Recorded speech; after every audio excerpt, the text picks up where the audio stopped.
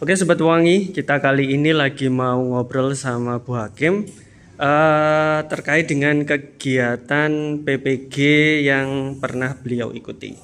Oke, yuk kita ngobrol sama Bu Hakim. Oke, Assalamualaikum Bu Hakim. Waalaikumsalam warahmatullahi wabarakatuh. Oke, gimana kabarnya Bu Hakim? Alhamdulillah baik. Alhamdulillah. Oke Bu Hakim. Jadi kali ini kita akan ngobrol soal PPG. Ya. Oke kalau boleh tahu Bu Hakim ini uh, lulus PPG tahun berapa? Saya lulus PPG tahun 2022 kemarin. Oh 2022 Iya. awal bulan ya?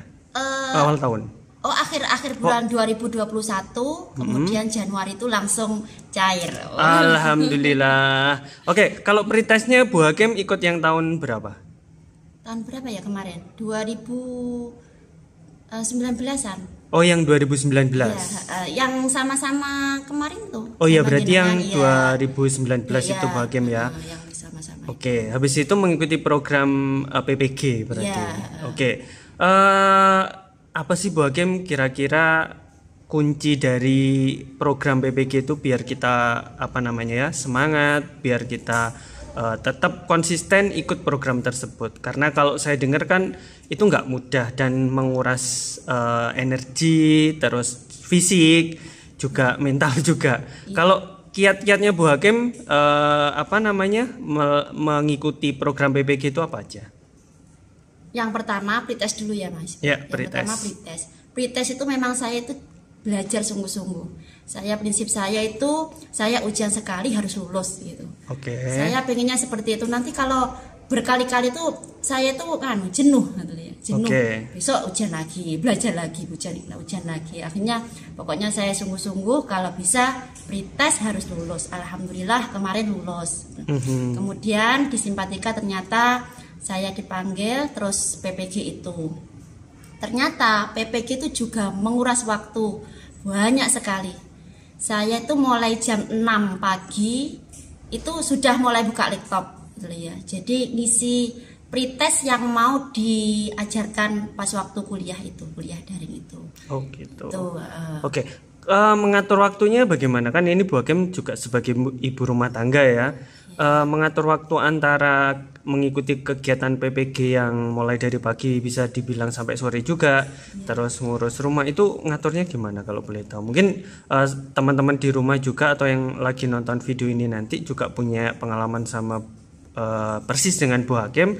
Eh, mungkin ketika Bu Hakim sharing nanti mereka juga punya apa namanya pandangan ataupun eh, apa namanya ya eh, setidaknya apa yang eh, Bu Hakim lakukan mungkin bisa ditiru juga untuk memanage waktu antara kegiatan PPG dengan rumah.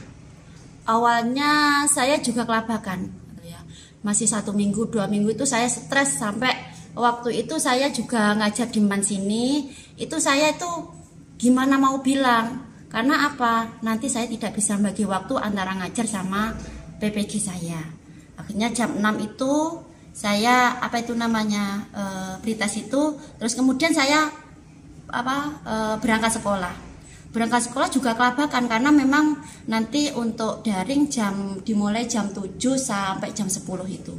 Jam 7 sampai jam 10 itu harus belajar dari materi-materi yang diberikan sama dosen ya.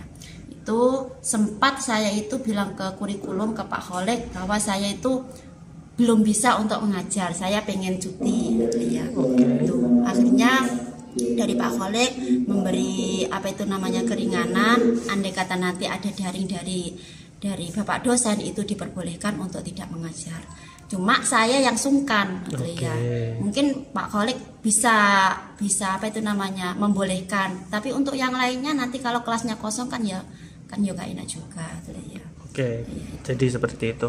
Sempat nggak Bu Hakim eh, berpikiran untuk mengundurkan diri atau eh, stop karena terlalu banyak tugas ataupun eh, kesulitan mengatur jadwal waktunya stop dari dari kegiatan PPG maksudnya? oh tidak gitu ya. Oh berarti memang eh, Bu Hakim yakin ya bakal lanjut meskipun eh, berat Iya. kegiatannya. Karena mungkin kalau untuk satu minggu dua minggu itu stres iya ya. Sempat stres sempat penyakit yang dulu dulunya enggak lambung sehingga eh, kayak gitu. Teman-teman ternyata iya sama dengan saya itu.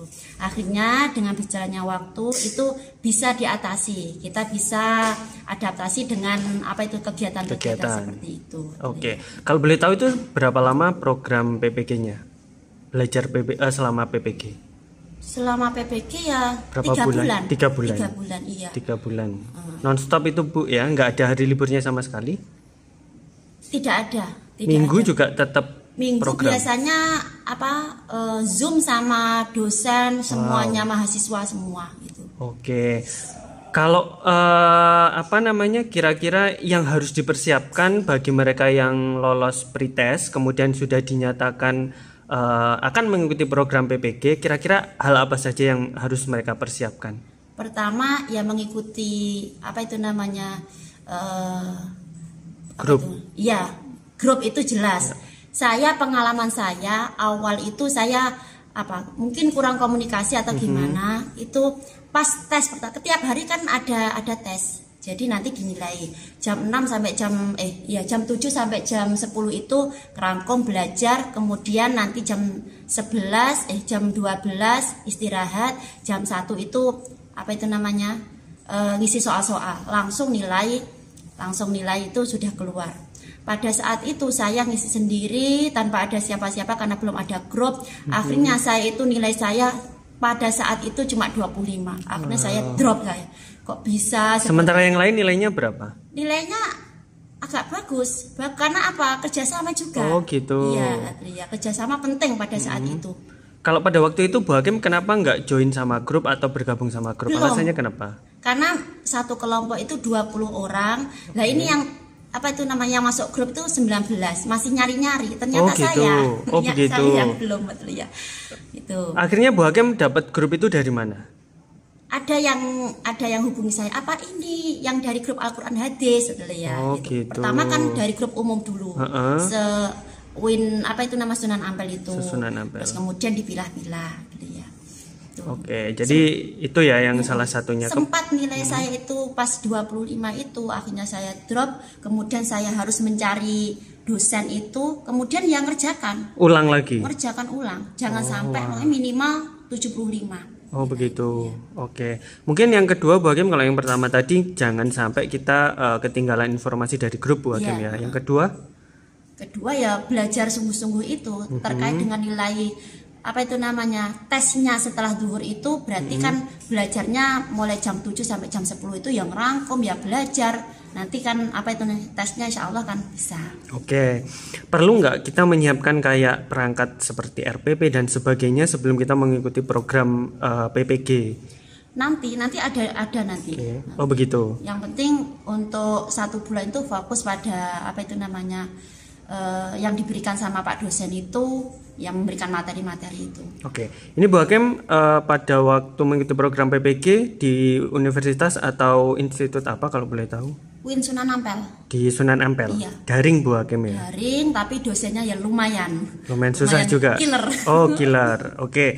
Kemudian uh, ketika UP, UP bener Bu iya. Hakim ya UP. UP Bu Hakim langsung lulus ya. Uh, sekali tes ya, langsung ya, lulus ya. Alhamdulillah. Nah Uh, mungkin tips triknya Bu Hakim uh, biar kita semua yang uh, nanti suatu saat akan mengikuti UP uh, bisa lolos uh, cukup satu kali tes. Ya. Itu apa? Kalau saya itu ya belajar lagi, uh mhm. -huh. belajar sungguh-sungguh. Terus ternyata yang ada di daring yang diberikan sama Pak dosen materi-materi semua itu ya. ternyata keluar sebelum apa itu namanya dua minggu sebelum UP itu ada kiriman dari teman-teman tentang mm-hmm. ringkasan materi-materi yang sebelumnya itu okay. saya pelajari itu ternyata banyak yang keluar yang okay. pertama yang kedua jangan sampai kita itu uh, acuh sama sama grup karena kalau di grup saya itu dulu itu setiap malam itu mesti daring belajar belajar bersama. Jadi ada soal dari teman itu dikerjakan bersama. Kemudian juga doanya juga oke doa nggak boleh lupa itu, ya. oh kalau Bu Hakim sendiri uh, dari segi spiritualitas atau dari segi uh, doa itu apa saja yang dilakukan? Ritualnya maksudnya?